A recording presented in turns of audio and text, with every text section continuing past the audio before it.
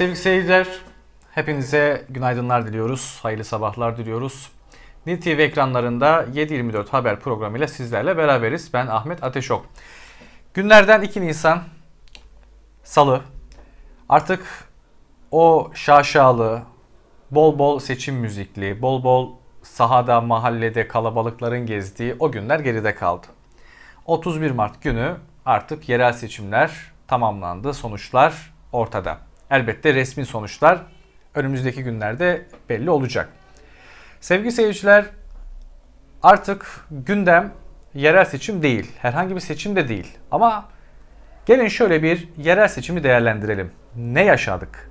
Ne bekleniyordu? Neler yaşandı? Hangi mesajlar verildi vatandaş tarafından? Şimdi bugün yerel seçimler haritasına şöyle baktığımızda eskiden ne görürdük? Sarı bir İç Anadolu, kırmızı bir kıyı şeridi, doğu bölgesinde de mor bir renk. Aslında Türkiye'nin alışkın olduğu yerel seçim sonucu bu şekildeydi Türkiye haritasında. Ama bugün baktığımızda daha kırmızı bir harita. Yani Cumhuriyet Halk Partisi'nin aslında birinci parti çıkmasıyla büyük şehirlerde ve diğer belediyelerde çoğunluğu sağlamış bir Cumhuriyet Halk Partisi gördük. Cumhuriyet Halk Partisi uzun yıllardan sonra Türkiye'de yeniden birinci parti olarak ilan edildi. AK Parti kurulduğu günden bugüne kadar ilk defa ikinci parti olarak tarihteki yerini aldı. Sevgili seyirciler burada çok önemli mesajlar var. Birazdan değerlendireceğim ama gelin şöyle bakalım. İstanbul Ankara AK Parti için çok önemliydi. Cumhur İttifakı için çok önemliydi. Uzun yıllardır belediye başkanlığı üstlenilmişti AK Parti tarafından, Cumhur İttifakı tarafından. Yeniden alınması isteniyordu, bekleniyordu. Ancak umulduğu gibi olmadı. Hem de yüksek oy farkıyla İstanbul Ankara yeniden Cumhuriyet Halk Partisi'nin olmuş oldu. İzmir'e baktığımızda İzmir şaşırtmadı. Cumhuriyet Halk Partisi yeniden orada zafer ilan etti ama oy oranlarında biraz düşüş var. Orada da Tunç Soyer'in bir tepkisel olarak sanda yansıyan bir e, oy kitlesi de var. Yani aslında %40'ların 50'lerin alındığı oy oranı bugün çok daha geride. Ama yine ikinci rakibine fark atarak Cumhuriyet Halk Partisi orada birinci parti oldu. Mersin. Mersin çok konuşulacak. Konuşulmaya devam edecek çünkü Cumhuriyet Halk Partisi'nin en yüksek oy aldığı ikinci şehir oldu. Rakibine neredeyse iki kat fark attı Vahap Seçer. %60'a varan bir oy oranıyla gerçekten belki de çok yüksek bir oy oranıyla yeniden belediye başkanı seçildi. Aslında burada bütün siyasetçilere düşen hayırlı olsun.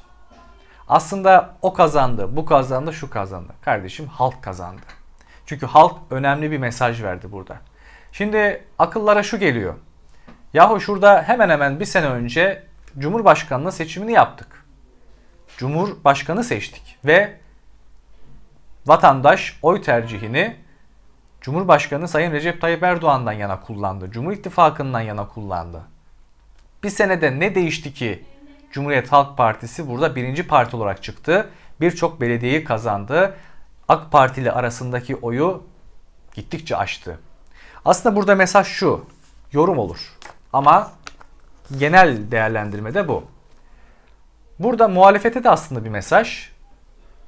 AK Parti'ye de bir mesaj. Sayın Erdoğan'a da bir mesaj. AK Parti yöneticilerine bir mesaj. Vatandaş Cumhurbaşkanlığı seçiminde bu altılı masa işte 7 Cumhurbaşkanı yardımcısı olayına pek sıcak bakmadı. Pek de güvenmedi. Pek de istemedi. İstemeye istemeye belki de yeniden Cumhurbaşkanını seçti. Sayın Erdoğan yeniden Cumhurbaşkanı oldu. Aslında muhalefete şu mesajı verdi. Bir kendinize gelin. Beni ikna edemediniz. Ben size bir türlü güvenemedim. Mesaj açıktı. Ama alternatif olmadığı için de Sayın Erdoğan'a böyle bir teveccüh olmuş olabilir. Muhalefet ya da altılı masa o dönemin altılı masası vatandaşı ikna edememiş olabilir. Gelelim yerel seçime. Yerel seçimde de dedi ki ey iktidar evet Cumhurbaşkanlığı seçiminde seni seçtik. Muhalefete güvenmedik ya da muhalefetin duruşu bizim hoşumuza gitmedi. Bizi ikna edemedi ama senden de memnun değilim. Ekonomiden memnun değilim. Emekliler özellikle 15 milyona yakın emekli var Türkiye'de. Emekli dedi ki ey AK Parti, ey hükümet beni mağdur ettin. Şu yüksek enflasyon karşısında beklediğim zam oranını vermedin. Beni zor duruma düşürdün. Ben de sana bir sarı kart çıkarıyorum. Mülteci problemlerinden şikayetçi olan vatandaşlar. Ey hükümet, mülteci politikalarına katılmıyorum. Rahatsız oluyorum. Bununla ilgili adım at dedi. Bunları çoğaltabiliriz. Aslında bu seçim hükümete bir sarı karttı, bir uyarıydı. Bir kendinize çeki düzen verin demeye getirdi. Halk kazandı. Halk iradesini sandığa koydu. Artık ne yaparsak yapalım nasıl olsa biz kazanıyoruz anlayışı tarihe gömüldü. Burada kaybeden kibir oldu. Burada kaybeden şatafat oldu. Burada kaybeden liyakatsizlik oldu. Burada kaybeden adam kayırmacı oldu. Burada kaybeden dini istismar ederek, dini kullanarak siyaset yapanlar oldu. Kazanan halk oldu. Vatandaş sarı kartını gösterdi ve hükümete önemli bir mesaj verdi. Şimdi sevgili seyirciler aslında bir ilkleri de yaşadık Türkiye olarak. Hangi ilkler onlar? Şöyle Türkiye haritası önümde.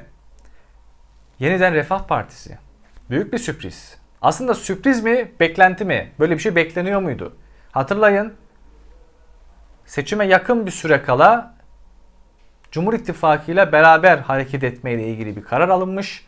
Ama sonradan bazı anlaşmazlıklar, yeniden Refah Partisi'nin bazı taleplerinin yerine getirilmemesi, AK Parti'nin belki de bu anlamda duruşu bu ittifakı bozmuştu ve yeniden Refah Partisi seçimlere tek başına girme kararı aldı. Şanlıurfa Büyükşehir Belediyesi. Evet şu anda yeniden Refah Partili belediyenin kontrolüne geçti. Onlar kazandı. Yozgat Belediyesi. Yeniden Refah Partisi. Sevgili seyirciler, Yeniden Refah Partisi Türkiye'de en fazla oyu alan 3. parti konumunda. AK Parti, CHP, CHP en büyük oy alan, AK Parti 2. sırada, Yeniden Refah Partisi 3. sırada. Haftalarca konuşulabilir. Milliyetçi Hareket Partisi, İyi Parti, DEM Parti, diğer partiler, DEVA geleceği konuşmuyorum bile. Ona birazdan geleceğim. Hani Cumhurbaşkanlığı yardımcılığını vereceğimiz o parti genel başkanlarının partileri listede bile yok. Kimse kusura bakmasın. Eğri eğri, doğruya doğru. Konuşacağız. İyi Parti Nevşehir'de bir belediye kazandı. Sivas'ta Büyük Birlik Partisi Hatırlıyorum Büyük Birlik Partisi Genel Başkanı Sayın Muhsin Yazıcıoğlu o helikopter kazasında hayatını kaybettiğinde Sivaslı vatandaşlar bir destek çünkü Muhsin Yazıcıoğlu Sivaslıydı biliyorsunuz. Bir destek, bir maneviyat, bir e, aslında vefa örneği göstererek Sivas Belediyesi'ni Büyük Birlik Partisi'ne destek vererek Büyük Birlik Partili bir belediye başkanına emanet etmişti Sivas Belediyesi'ni. Ardından tabi bazı memnuniyetsizlikler oldu vesaire yeniden başka partiye geçmişti ama bugün gelinen noktada Sivas yeniden Büyük Birlik Partisi'nin yönetiminde sevgili seyirciler. Milliyetçi Hareket Partisi Kırklareli, Çankırı, Karaman, Tokat, Gümüşhane, Erzincan ve Kars illerini alabildi. AK Parti'ye baktığımızda Konya'yı görüyorum. Kocaeli'yi görüyorum, Samsun'u görüyorum. Kahramanmaraş, Elazığ, Bingöl, Erzurum, Rize, Trabzon birkaç tane daha il var. Oralar alındı. Şırnak Belediyesi alındı bu anlamda.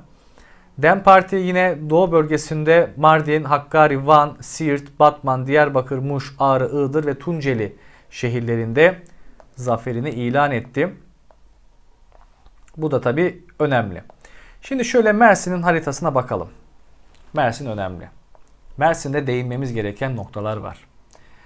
Vahap Seçer %59,52 ile toplamda seçmenlerin 625 bin kişinin oyunu almış. Sayın Serdar Soy'dan %31,04 ile 326 bin oy almış. Şimdi burada aslında soru işareti su, şu. Toplam seçmen sayısı sevgili seyirciler özür diliyorum. Toplam seçmen sayısı Mersin'de 1 milyon 392 bin küsuratını saymayalım. Geçerli oy sayısı düzeltelim. Kullanılan oy sayısı 1 milyon 99 bin. Aradaki farkı zannediyorum gördünüz. 300 bin oy ya da 300 bin seçmen oy kullanmaya gitmemiş. Neden? 300 bin önemli bir rakam. Mersin'de belki buradaki dengeleri etkileyebilirdi. Olumlu veya olumsuz ama 300 bin seçmenin sandığa gitmemesi soru işareti yarattı. Niçin katılım az oldu? %78 Mersin'de. Ki Mersin her zaman demokrasi şehridir. Sandığa olan güven önemlidir. Sandığa gitme önemlidir Mersin'de. Mersin'deki vatandaşımız yönetime katılır bu anlamda. Ama bugün baktığımızda hemen hemen 300 bine yakın seçmen sandığa gitmemiş. Mersin yine ilkleri yaşadı. İyi Parti 2 belediye kazandı. Çamlıyayla ve Mut Belediyesi. Sürpriz miydi? Bence beklentiydi. Özellikle Mut'a gidelim. Mut'ta İyi Parti'nin adayı Murat Orhan'dı ve önceki dönem belediye başkanlarında. Volkan Şeker mevcut belediye başkanı ile Milliyetçi Hareket Partisi'nden, Cumhur İttifakı'ndan ama %48 ile Murat Orhan %34'te de Volkan Şeker kaldı ve Murat Orhan İyi Parti bir belediye olarak zaferini ilan etti. Çamlıyayla'ya bakacak olursak Çamlıyayla'da Milliyetçi Hareket Partisi güçlü bir parti. Ama bugün gelinen noktada İyi Parti'nin adayı Mehmet Fatih Sofu %47,52'lik oy oranıyla Çamlıyayla'da zafer ilan etti. İkinci aday MHP'nin Ali Rıza Genç %44'te kaldı ve yine Çamlıyayla Milliyetçi Hareket Partisi'nden İyi Parti'ye geçmiş oldu. Anamur. Anamur Belediyesi Milliyetçi Hareket Partisi'ndeydi. Milliyetçi Hareket Partisi'nin güçlü olduğu bir ilçe ama CHP'nin adayı Durmuş Deniz %57 oy alarak rakibine 10 bine yakın fark atarak belediye başkanı seçildi. Cumhuriyet Halk Partisi'ne geçmiş oldu Anamur Belediyesi. Gelelim Aydınca Cumhur İttifakı'ndaydı. AK Parti Sayın Ferhat Aktan orada belediye başkanlığı yapıyordu. Bugün baktığımızda 1500'e yakın bir oy farkıyla CHP'nin adayı Özkan Kılıçalp'a Aydıncık Belediye Başkanı olarak seçimi kazandı. Silifke önemli. Mustafa Turgut, Doktor Mustafa Turgut.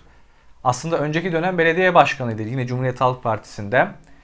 Ama Sayın Sadık Altınok maalesef umduğunu bulamadı ve hemen hemen 15 bin oy farkıyla Mustafa Turgut yeniden Silifke Belediye Başkanlığı koltuğuna oturacak. Tarsus önemliydi. Tarsus'ta Ali Boltaç CHP'nin adayı yine önemli bir farkla Tarsus Belediye Başkanlığı'nı kazandı. İkinci aday Mahmut Tattı. Akdeniz. Akdeniz Belediyesi biliyorsunuz Cumhur İttifakı'nda Sayın Mustafa Gültak yönetimindeydi. Akdeniz aslında arada derede kaldı hep. Yani bir taraf yahu burada hükümetin adayı var. Hizmet getiriyor. Bakanlığı kullanıyor. Onu kullanıyor. Bunu kullanıyor. Buraya yatırımlar gelmeye başladı.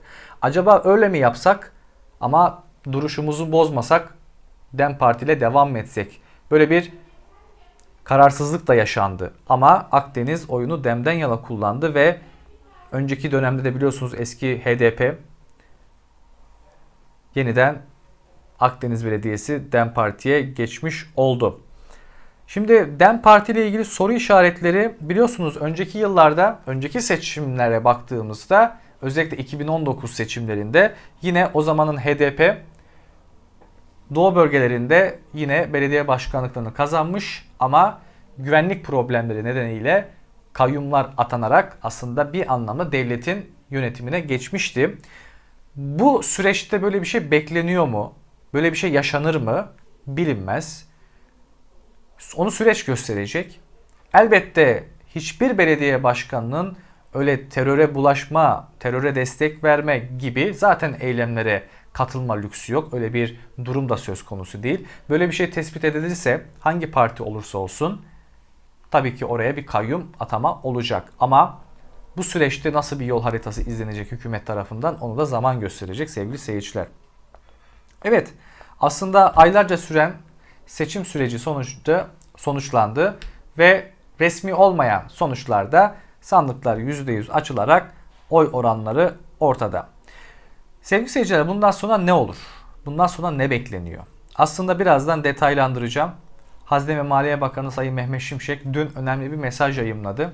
Artık seçimler de bittiğine göre Önümüzde 4 yıllık bir süreç var dedi. Seçimsiz bir süreç var dedi. Tamamen odaklanacağımız nokta hayat pahalılığı, parasal sıkılaştırma ve OVP yani orta vadeli programın düzgün, disiplinli bir şekilde uygulanması.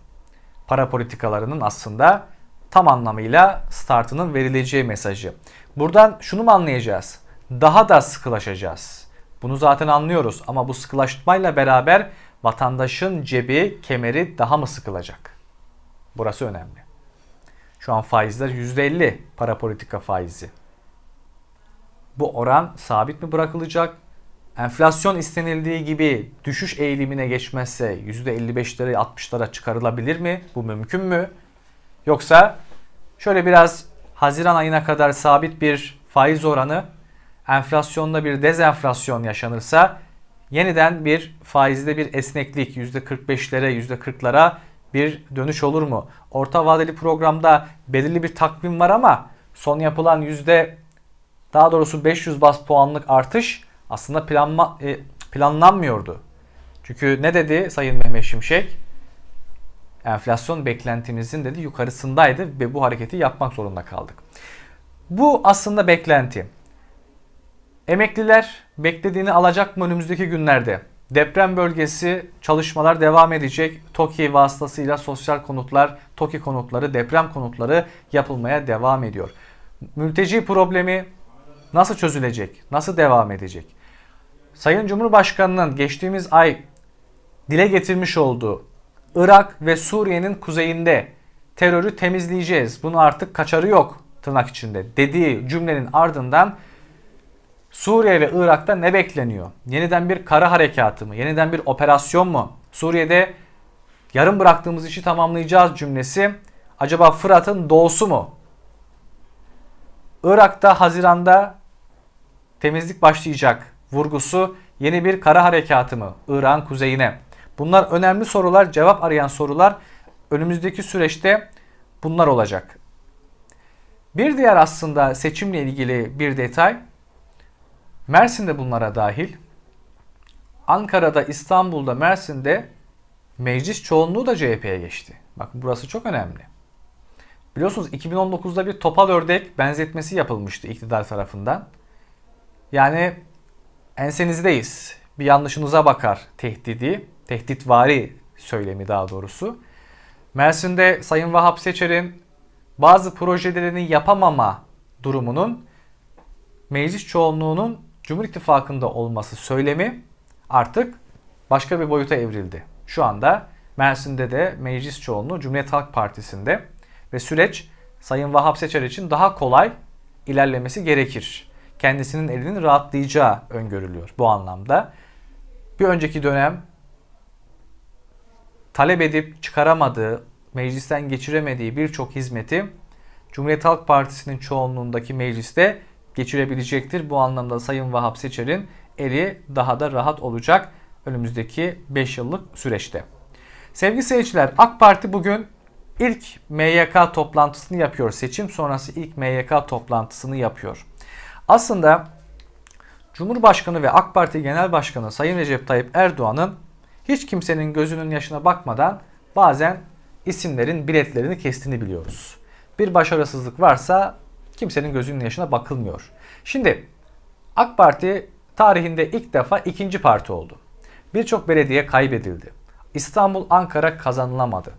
Yani açıkçası istenilen sonuç alınamadı.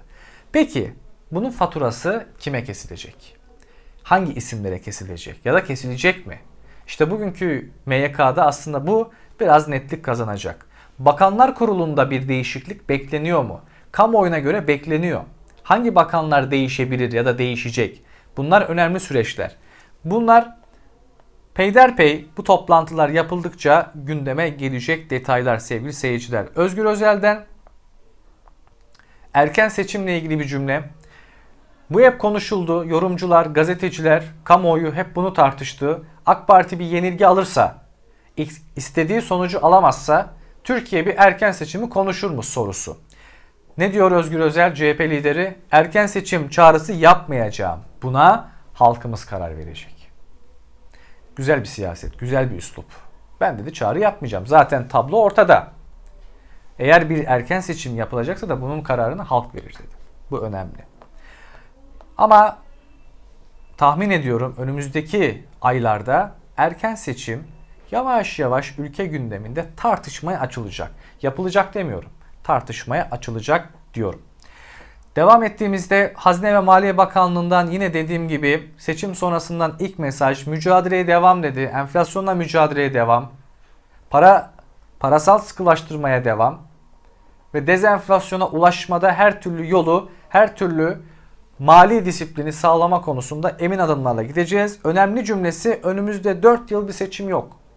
Artık seçim korkusuyla aman şunu yapalım, aman şunu yapmayalım kaygısı taşımayacağız dedi tırnak içinde. O yüzden önümüzdeki süreçte daha etkin, daha kararlı bir adımı bekliyoruz.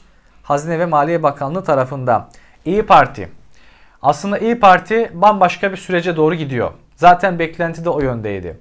İyi Parti Genel Başkanı Sayın Meral Akşener'in hatırlayınız Cumhurbaşkanlığı seçimine yakın masadan kalkması ve çok ağır üsluplarla Cumhuriyet Halk Partisi'ni, Cumhuriyet Halk Partisi Genel Başkanı Sayın Kemal Kılıçdaroğlu'nu eleştirmesi, bu masanın bir çıkar masası olduğuna dair söylemlerde bulunması işi bambaşka bir boyuta taşımıştı. Ardından Sayın İmamoğlu ve Sayın Yavaş'ın Cumhurbaşkanı yardımcısı olmaya ikna edilmesinden sonra masaya tekrar oturulmuş.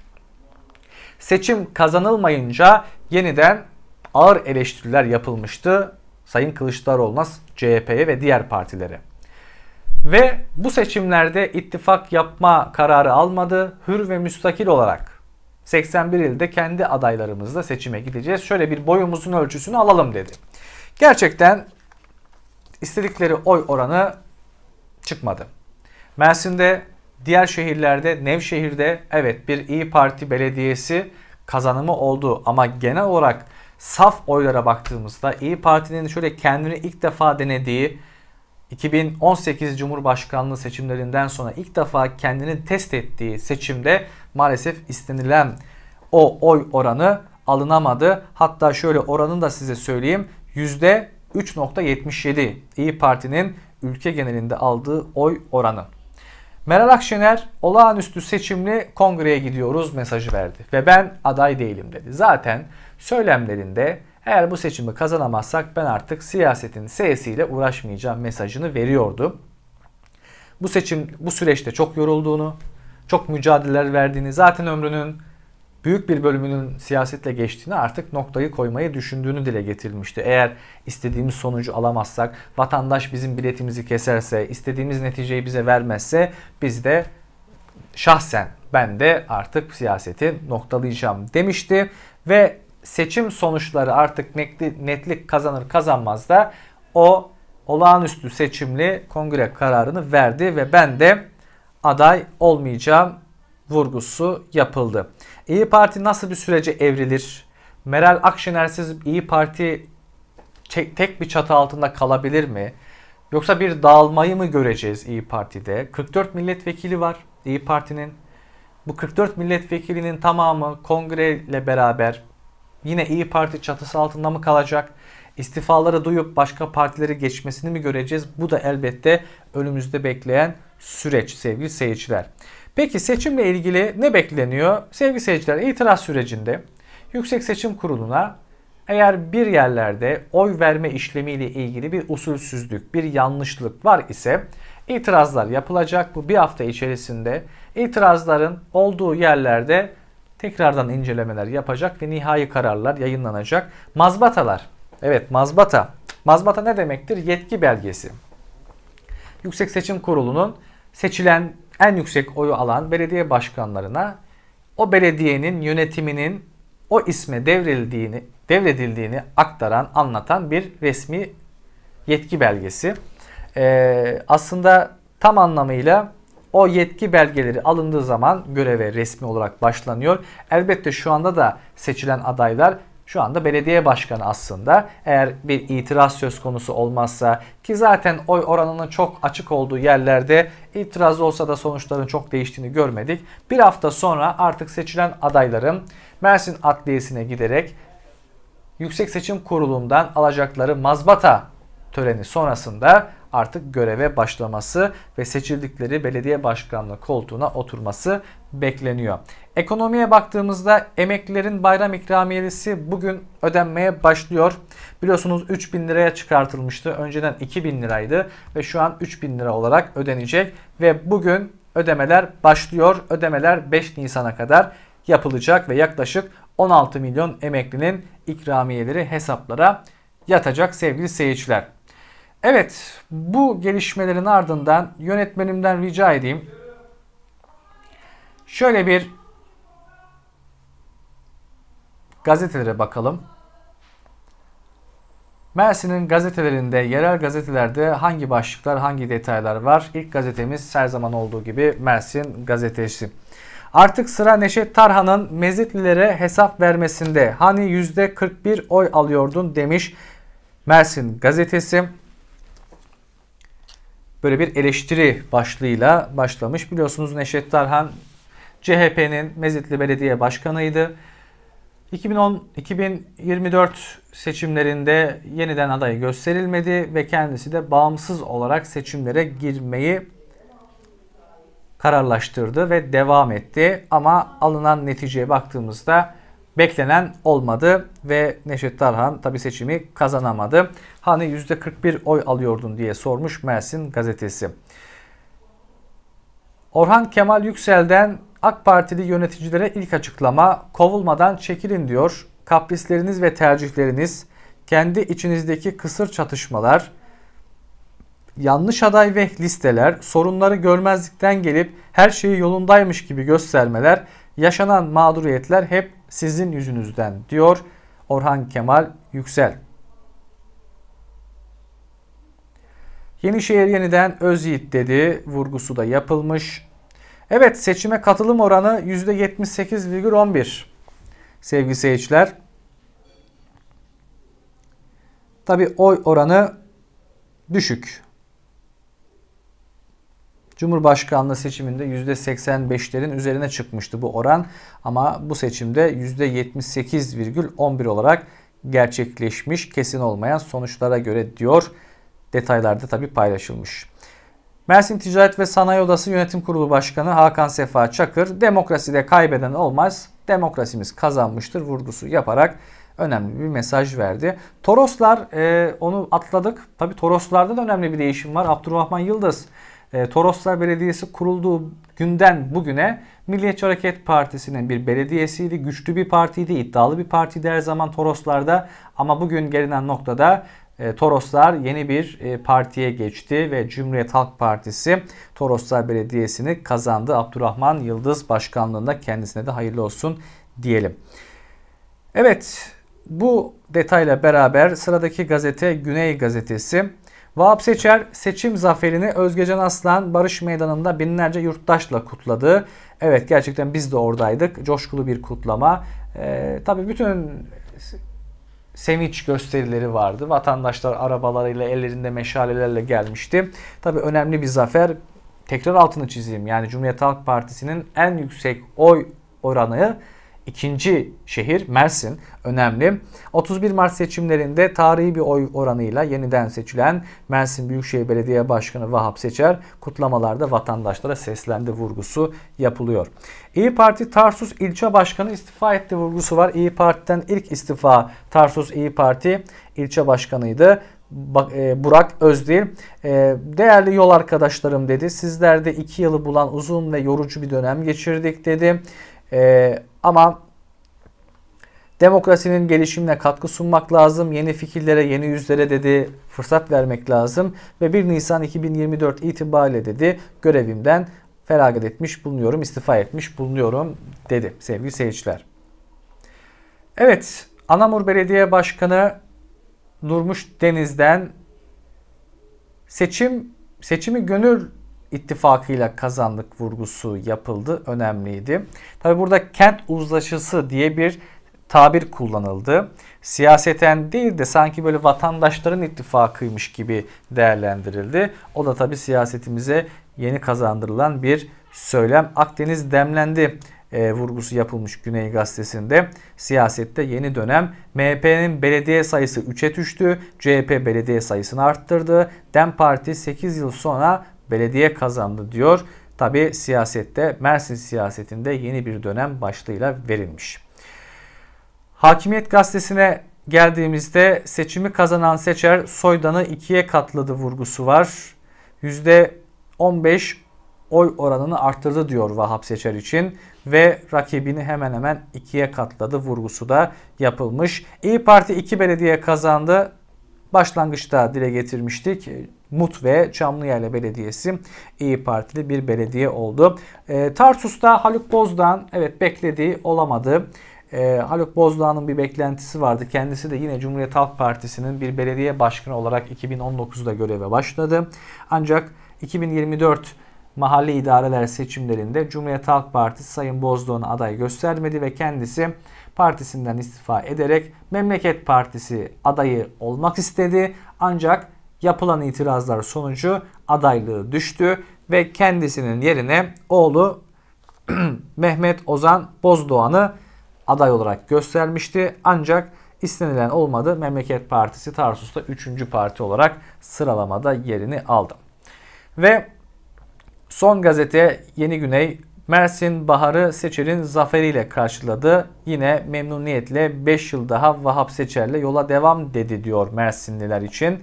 E, tabii önümüzdeki 5 yıl boyunca yeniden Vahap Seçer Büyükşehir Belediye Başkanı olarak görev yapacak. Şöyle baktığımda önemli başlıklar var mı? Evet 31 Mart mahalle idareler genel seçimleri içinde itiraz süreci başladı vurgusu var. İtirazlar sandık kurullarından sonra sırasıyla ilçe, il ya da Yüksek Seçim Kurulu'na yapılabilecek. Bu süreçte de tabi tekrar değerlendirmeler olacak. Evet tekrardan hayırlı olsun diyelim ülkemize, Mersin'imize. Sevindirici taraf gerçekten bir demokrasi örneği. Türkiye yeniden bütün dünyaya demokrasi örneği vermiş oldu. Kardeşim ben sandıkla belirlerim, sandıkla mesajımı veririm ya da sandıkla gönderirim. Hiçbir irade benim yöneticime müdahale edemez. Görevden alamaz ya da göreve veremez. Ben belirlerim. Türkiye seçmeni artık demokrasi örneğini göğsünü kararta kararta söyleyebilir. Kimse buna itiraz edemez. Herkes buna saygı duyduğu, Elbette üzücü tatsız olaylar yaşandı. Muhtarlıklar arasında, muhtar adaylıklar arasında kavgalar. Maalesef 4 vatandaşımız seçim süreci boyunca, seçim gününde 4 vatandaşımız hayatını kaybetti yurt geneline baktığımızda. Yaralılar maalesef var. Ee, keşke hiçbir şey olmasaydı, hiç bunlar olmasaydı daha memnun ediciydi. Ama onun dışında e, tabii çok olağanüstü bir kriz yaşanmadı. Hele ki 2019'da o İstanbul'da yaşanan süreç, başka bölgelerde yaşanan o krizler, seçimin yenilenme tarzında olaylar yaşanmadı. E, bütün adaylar birbirlerine saygı duydu. Ben de sosyal medyadan bakıyorum. E, A partili bir aday B kazanan B partili adayı tebrik ediyor. E, de, Mersin kazandı diyor mesela. Orası kazandı diyor, burası kazandı diyor. E, saygı sevgi çerçevesinde zaten olması gereken bu. Başka bir şey beklenemez. Bundan sonra artık seçilen belediye başkanları bir 5 yıl daha ya da yeni seçilen belediye başkanları önümüzdeki 5 yıl kadar şöyle baktığımızda 2029 yapıyor değil mi yönetmenim? 5 yılda 2024 2029'a kadar yerel seçimleri görmeyeceğiz. 2023 2028'e kadar da bir cumhurbaşkanlığı seçimini görmeyeceğiz. Resmiyette bu var. Ama bir erken seçim gündeme gelir mi gelmez mi ona tabi zaman gösterecek, süreç gösterecek sevgili seyirciler. Tekrardan vatanımız için, memleketimiz için hayırlara vesile olsun diyelim bu seçim sonuçları. Kapatmadan önce gelin şöyle bir hava durumunu da sizlerle paylaşayım. Yurt genelinde nasıl bir hava bekliyor bizi. Meteoroloji Genel Müdürlüğü'nden veriler ne durumda? Ülkemiz genelinde mevsim normallerinin 6 ile 10 derece üzerinde seyreden hava sıcaklıklarının çarşamba gününden itibaren özellikle kuzey kesimlerde azalacağı tahmin ediliyor. Fark ettiniz havalar birden ısındı. Hele Mersin bölgesinde hele Akdeniz bölgesinde. Gerçekten böyle birden bir sabah uyandık sanki birden iklim değişmiş gibi. Ama önümüzdeki günlerde yeniden bir sıcaklıklar gerileyecek. Mersin'de de biraz böyle 3-4 derece geriliyor gibi duracak. O yüzden aman dikkat edelim. Mersin'e şöyle baktığımda işte kısa kollular giyilmeye başlamış. Böyle bir yaz havası gelmiş. Haklı olarak sıcak bir e, havadayız. Ama dikkat edelim. Hava birden serinleyebilir. E, zaten biliyorsunuz bahar geçişi işte mevsim geçişi böyle nezle gibi grip gibi hastalıklara yakalanabiliyoruz. Tam böyle kendimize geldik derken yeniden bu sıcak hava tekrar soğursa falan aman aman hasta olmayalım dikkat edelim sevgili seyirciler.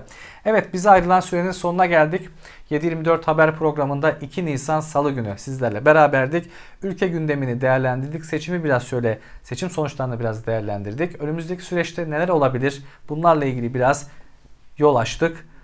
Her gün olduğu gibi yarın da yine 7.24 haberle sizlerle olacağız. Gerek Türkiye genelinden gerekse Mersin'in önemli başlıklarını, önemli gelişmelerini sizlerle paylaşacağız. Yarın aynı saatte görüşmek dileğiyle. Sağlıkla kalın, mutlu kalın, hoşça kalın.